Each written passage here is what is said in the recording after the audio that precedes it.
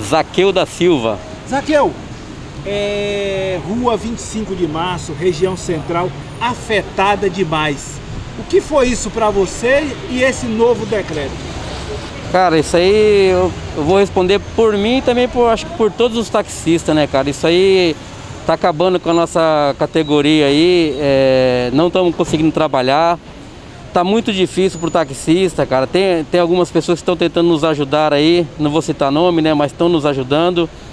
E só por Deus mesmo, pra gente passar essa pandemia e poder trabalhar em paz. Aí tá tudo parado, a gente não consegue trabalhar. É, duas horas puxando fila aqui para sair um carro, então tá muito difícil para nossa classe aqui. Eu achei interessante, eu achei importante porque o uso de, da, da máscara, ela, ela ela é segurança, era uma questão de, de, de, prevenção da pessoa transmitir o vírus de um, de, de um para o outro.